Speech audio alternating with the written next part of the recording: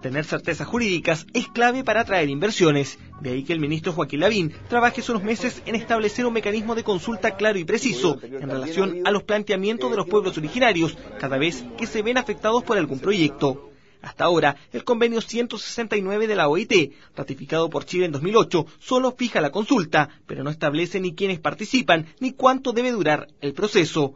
Por eso este martes las partes involucradas buscarán alcanzar consensos los pueblos originarios y el gobierno se juntan en una mesa para tratar de llegar al mayor acuerdo posible de aquí al día 15 de abril sobre cómo en el futuro efectuar estas consultas.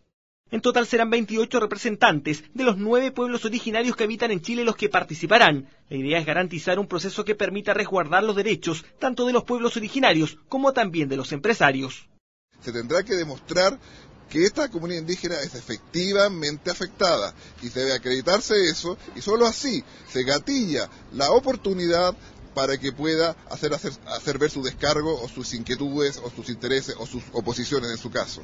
La Araucanía sería la región más beneficiada con la medida. Según el mundo empresarial, un mecanismo claro permitirá devolver la calma en la zona, aunque para algunos expertos dependerá de otros factores.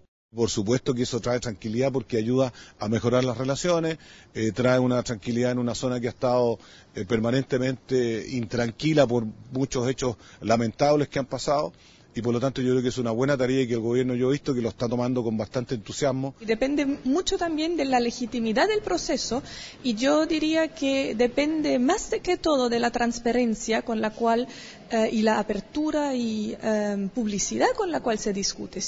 El gobierno espera ingresar el proyecto a más tardar el 30 de abril y así dar certezas a un convenio que a pesar de que se ratificó hace cuatro años, aún no está del todo claro. Rodrigo Guerra, CNN Chile.